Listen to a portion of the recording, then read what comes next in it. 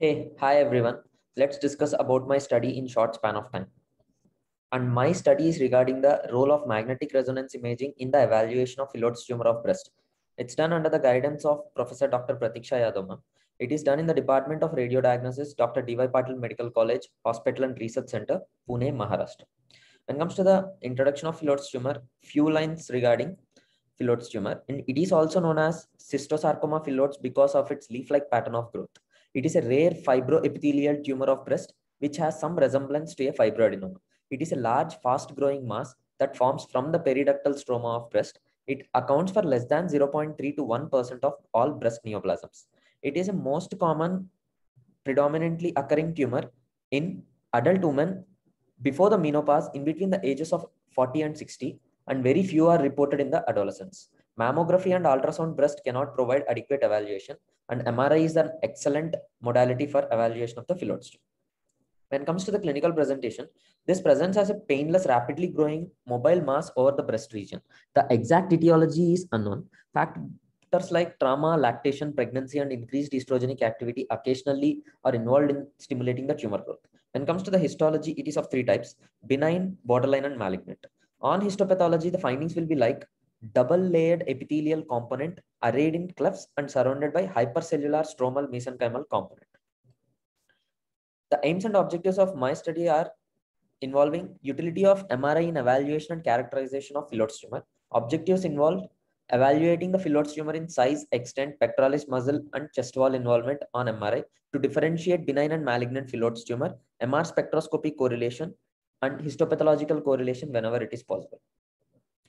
When it comes to the materials and methods, it is done in D.Y. Patil Medical College Hospital and Research Center, Pune.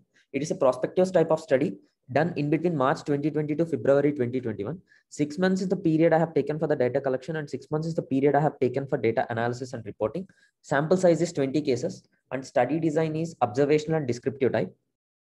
And this is this study is done by using machine Siemens Magnetom Vida MRI machine, which is 3T, and IEC clearance and informed consent are taken from all the patients.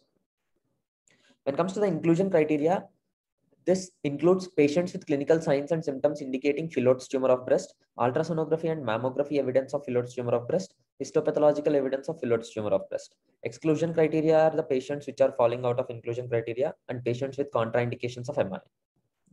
This is the machine I have used for my study. When it comes to the imaging findings of one case, Image A is an axial T1 weighted image showing a large iso to hypointense irregular mass in right breast with few hypointense septa. Image B is the axial T2 weighted image showing large hyperintense mass in the right breast with multiple hypointense septa. Image C and D are axial diffusion weighted images which are not showing any diffusion restriction and image D is the ADC image which is showing high corresponding ADC values. These are the imaging findings in one more case. Image A is an axial T2 weighted image showing large, well circumscribed, heterogeneous mixed signal intensity mass with multiple septations and cystic spaces in, involving the entire breast, right breast. Image B is sagittal T2 weighted image, which is showing septations and cystic spaces more clearly. Image C is post contrast image showing heterogeneous enhancement, and image D is post contrast subtracted image, which is showing enhancement of septa and non-enhancing cystic spaces within. This is the MR spectroscopy graph, which is showing choline peak in the mass lesion. When it comes to the discussion of Phyllodes tumor, it is of three types, benign, borderline, and malignant. On MRI, it all the three will show more or less the same findings, like large mass lesions with well circumscribed margins, internal septations, and low to high signal intensity on T2 weighted image. And sometimes on T1 weighted image, some hyperintense foci will be seen, which are representing hemorrhage Few cases showing inhomogeneous signal intensities on T1 weighted and T2 weighted are due to cystic areas with internal septations within. When comes to the cystic spaces, in benign category, they'll appear like smooth margins and homogeneous signal intensity on T2 weighted image.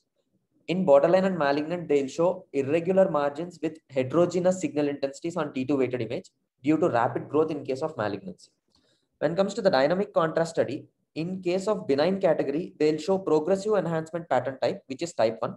And in borderline and malignant, they'll show type 2, which is plateau pattern, and type 3, which is washout pattern due to increased angiogenesis. When it comes to the MR spectroscopy, In benign category, they do not show any choline peak. In borderline and malignant category, they'll show choline peak. When it comes to the results of my study, out of 20 cases, 17 cases are of benign type and 3 cases are of malignant type. 10 cases are showing cystic spaces, remaining cases are not showing cystic spaces. When it comes to the kinetic curves, 10 are of type 1, 6 are of type 2, 4 are of type 3. Concluding this phyllodes tumor, MRI is an excellent non-invasive modality for characterization and evaluation of the phyllodes tumor as they are very large many times which cannot be evaluated on mammography and USG breast most of the times. Multi-parametric MRI involving dynamic contrast enhancement, diffusion weighted imaging and spectroscopy is very, very helpful to differentiate between malignant and benign lesions. These are the references I have used for my study. I thank Indian team radiologists for giving me this opportunity.